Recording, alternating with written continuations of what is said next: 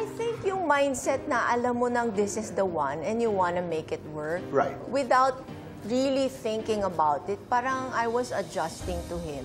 And then later on, na-realize ko, hindi pala ako yun. Iba pala ako. Tapos nung napapansin niya na hindi ako masyadong excited lumabas or excited na maraming tao, nagtataka siya bakit, ano nang bago, ano nangyari.